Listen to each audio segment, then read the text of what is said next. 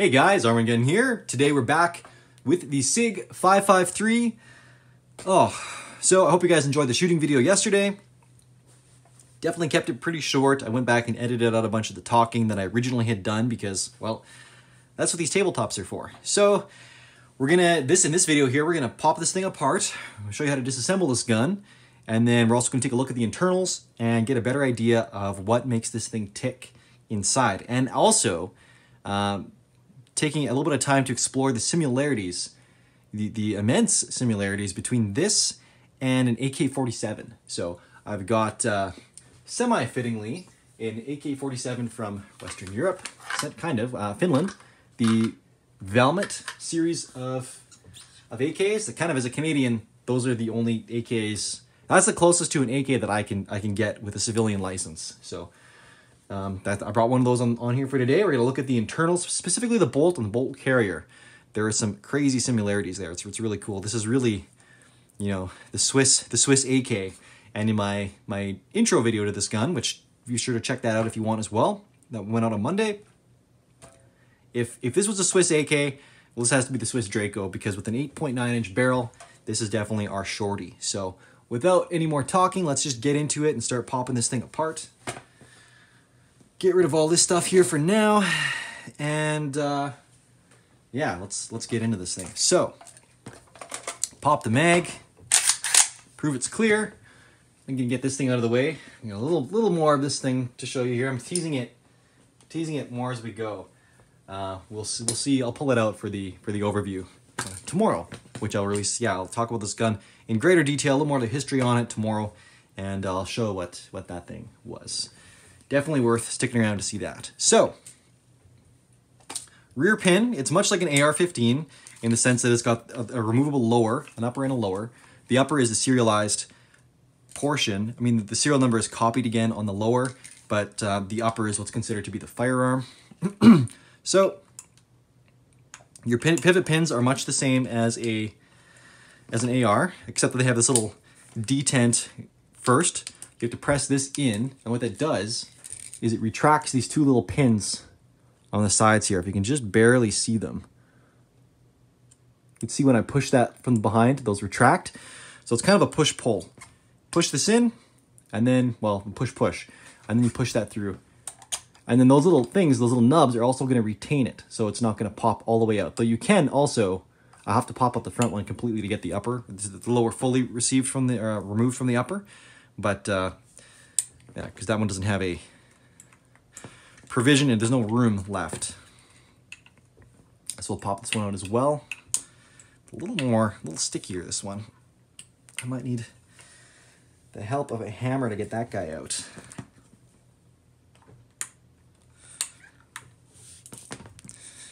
Oh boy. Very sticky. Oh, one of these pins is sticking on me for some reason there. That's why. Okay. There we go. That's kind of odd. It shouldn't do that. That's why it was getting stuck in there. Okay, so there we go. Completely out.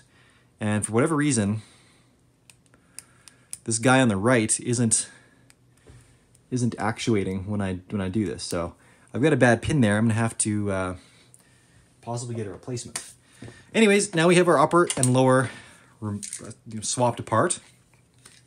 And folding folding stock. Again, there's no buffer components back here, so you can shoot this gun folded, which is very nice.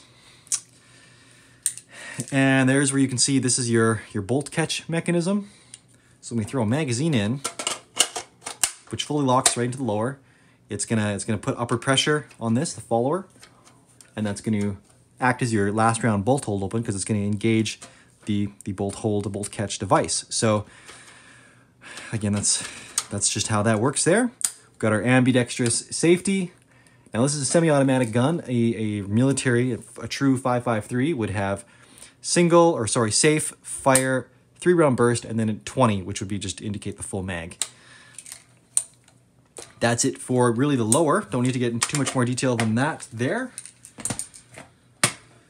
The upper is where a lot of the magic is. And again, were this a 5.52, I would have already sent the recoil um, spring and guide rod across the room. Uh, that was the main change. with the with between the 552 and the 553 uh, was that the original 552, yeah, everything was just kind of crammed in the back after everything, where the 553 adopted the same system that the 550 and the 551 make use of, in which the recoil spring itself is just wrapped around the piston. So it's all a self-contained unit, much more efficient, and again, when you break apart the gun, you don't shoot the recoil spring out. Uh, I had a 552 before. Fantastic gun, uh, but I you know, I would forget and not knowingly I would pop it open and uh, twice I sent it across the room. Once I almost smoked myself in the face. So it's it's a good thing to note um, which one you have. It's also another another very clear indication of whether it's a 552 or a 553 is the charging handle. So the 551 or 552 rather had just a little steel nub that came out. And the 553 uh, goes back to the same standardized charging handle that the 550 and the 551 also use. So that was another way of noting the difference. And then there was for a time, I guess just to, you can also have a 552 that's also got the internals of a 553. Now it's referred to as a 552A1. And that was if, you know, the 552 was kind of re-arsenaled and, and had the upgrades done. So that's a bit of a tangent, but somewhat relevant. So anyways, the way that these bolts come apart, same system that the 5554 systems do in the FAMEs. So you've got this little lever over here, spring actuated. So you're gonna push this down and you're gonna pull out your charging handle because right now the charging handle is linked with the action. You know, I can cycle this and like there's no there's no spring back here or nothing. Everything is captured from up front. Um, the spring system is, is all housed underneath the handguard here, which I can, I suppose I can pop this off. Yeah, because it's all retained by the, the, uh, the, the front pin there. So with the front pin off, pop these off, set those to the side. These are, by the way, are just factory handguards, but they have the B&T uh, rails on the 3 and 9 o'clock position, and again, also the slanted one, or the one that makes up for that slant on the 6 o'clock position. So that's your system underneath, and again, that recoil system that's been upgraded is all self-contained around the piston, it's all inside here. And because this carrier, uh, the bolt carrier is attached right to that assembly. Um, that's how that's how that works. And that's going to be similar. You're going to see really quickly here.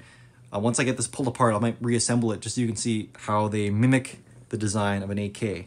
They've just enhanced it. So pull that down, pop, this comes right out. That's your charging handle. Piece of steel with a rubberized coating on that end. Okay, now this is just going to slide right apart. And it is just it's just so so slick and so smooth. Again, these are these are a steel receiver, stamped steel, and welded. So, they, but it's a really high quality. Again, they don't make many guns that way anymore. Kind of an older generation of of manufacturing techniques, but wow, just gorgeous. And then leave it to Swiss Arms. I guess these are these are made in Germany now, I believe. Uh, 4685, 4685 bolts, carriers, everything is you know they they they carry that. Uh, they carry that practice of serializing like everything, um, which is which is cool. It's fine.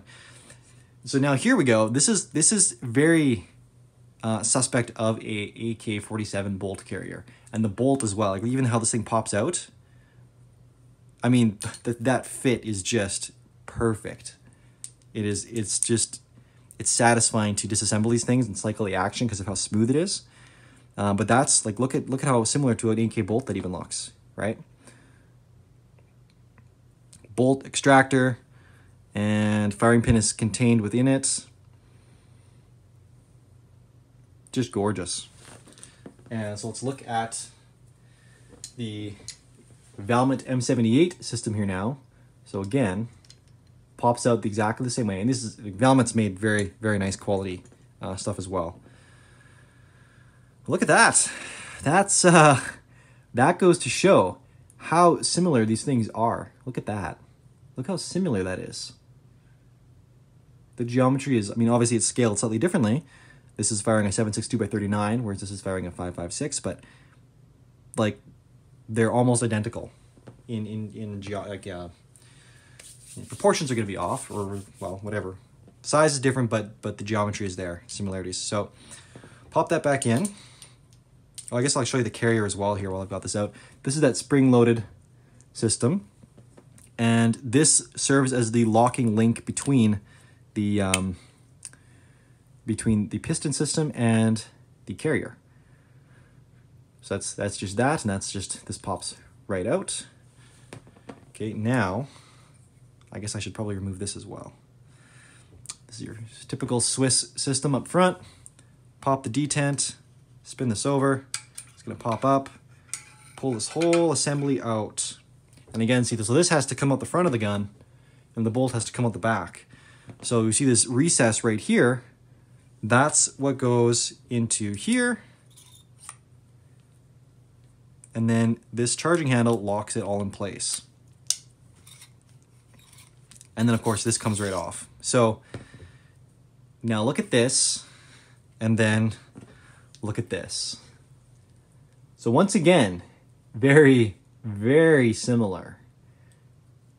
Isn't that cool? Look at that. So now this is where you're going to see it's going to be different from a 552. 552 doesn't have this recoil system on here. Again, that's stuffed into the back, whereas this bolt, everything is sealed off. So, or maybe, yeah. So it's not the same. Um, very, very, it's definitely a different looking system on the 552.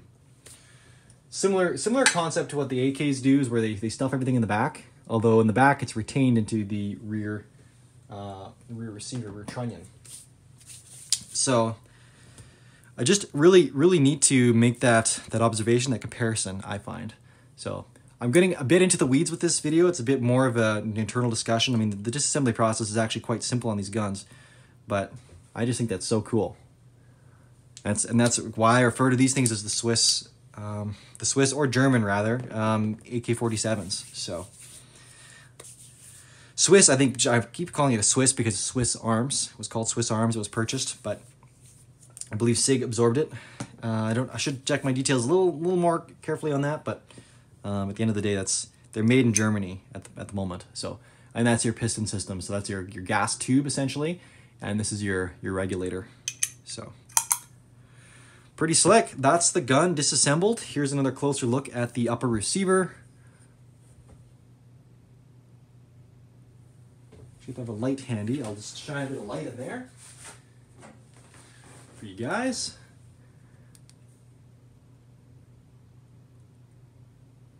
Just just like an AK, how that front that front barrel extended in the in the receiver, how it locks up and like they're in there like that. So slick. Barrel just threads on.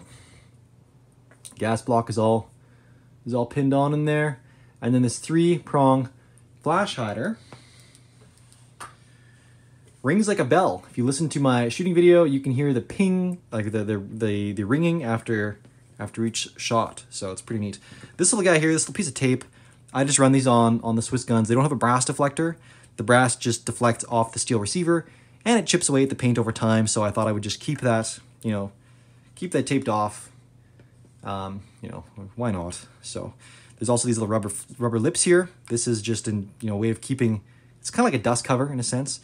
Keeps grit from getting in behind the carrier group and still allows the the handle to cycle through there. What else can I tell you? I think that's pretty much it. We've got a little backup. This is a flat top model, right? So there's also going to be models that have diopters welded onto the top of the frame, like a rear diopter sight like this and then a front sight. Uh, I think they're hooded. Um, but this is a flat top. We got some sling loops back here. We got this integrated, integrated rear sight, which is really kind of stiff to get out. That's fine. So it's adjustable for elevation. Little peep sight in there. And then the front little sight blade, which is very minute, very fine right there. And it probably would have benefited from having like a little tritium insert if they could have fitted or something because it's hard to pick up the that front sight blade, I find anyways, but just me. Anyways, let's throw this gun back together really quickly. And then I'll give you my bonus gun. And then we will be on our way. So, toss all this back in.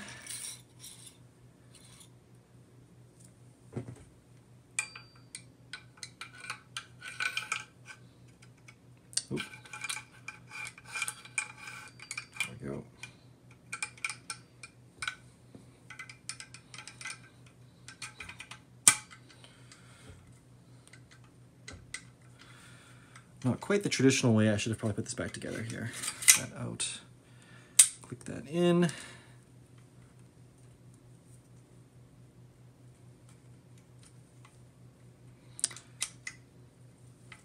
There we go.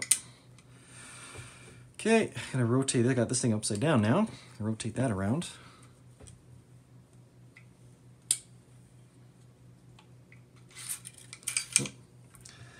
Let's just get this guy properly oriented so that it's I can reattach the bolt properly. I'll just leave that off for now. Put the bolt back in the carrier, same as an AK, slide it in the rear of the receiver.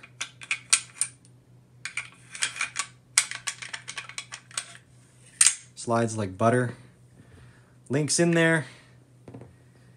And I'll just move my piston ahead slightly. Lift that up, pop that back in, push it all the way in, and then pull it a little bit till it clicks and, and, and retains itself. I'll then toss my regulator back in. And with that, guys and girls, we are done. Well, except for the fact that I don't have the uh, the lower on, I suppose. Let's put our handguard back on. The lower locks it in, handguards slide together, locks it everything in.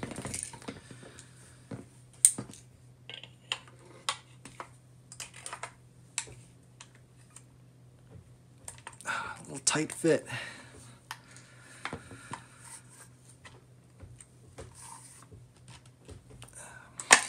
Oh, there we go. Perfect. Okay. And then lastly, this pen, I'll leave this out right now because I'm going to play with this and see if I get this thing to work properly before I get it jammed in there again. And, and that's to be that. So that's to be that for this guy. Bonus gun. I wasn't prepared for this. I'm just to grab something off the wall. Let's go with the Canadian Draco, which is to be the VZ58. This is a little 7.5 inch chambered in 762 by 39. This thing is a ton of fun, honestly, with the brake on it. Recoil is, is very basically minimal. It's just a really fun little gun to shoot. And again, it's also piston operated, uh, but it's it's again it's a broken piston. It doesn't like it impact imparts energy on the carrier itself, so it's a short stroke. It's not uh, a long stroke like the AK. Really cool little gun, tons of fun. I definitely need to take this thing out for a range video and do this one as well. So really neat. And if you notice that there, this thing also has a last round bolt hold open as well. So again, kind of an improved AK. This was the Czech AK. Sometimes purists will get mad if I refer to this in, any sense of the word as an AK, but um, appearance, if I'm going to refer to this thing as a German AK or Swiss AK, I'm going to refer to this lovingly as a, a Czech AK. Um, they definitely did some really cool things. All milled receiver, yet it's still lighter than your average stamped AK. So anyways, VZ58, we're going to have some series on that coming soon. But that's it. That's the show for today, guys. Thanks for checking out. Tomorrow for the full review. Arm&Gun out.